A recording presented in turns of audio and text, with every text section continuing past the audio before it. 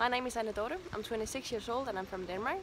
I have been here at Club La Santa five times now and I just love coming back because of the warm weather, because of the fact that you can work out outside and the fact that you can meet a lot of new uh, people here.